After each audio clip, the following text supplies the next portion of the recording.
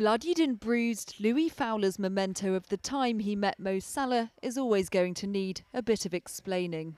I was so happy, but was, at the same time I was in so much pain. So I didn't, it was like kind of like crying and smiling. Not long before, Louis had been outside Liverpool Football Club with his brother when the striker drove out. A perfect chance for a photo, thought Louis, and chased after him. But a lamppost had other ideas. I was like kind of looking to the sides, so I didn't see it coming because it was like directly in front of me.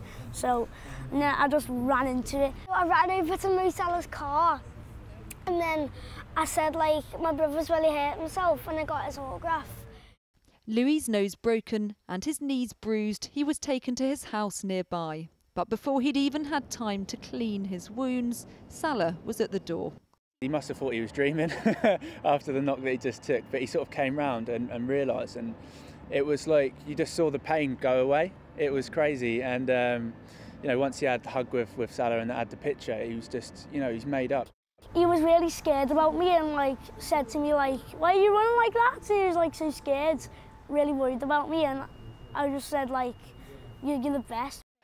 Louis had photos with other famous footballers like Virgil van Dijk and Alex Oxlade Chamberlain, but this one's given him a story he'll be telling for the rest of his life. Olivia Kinsley, 5 News.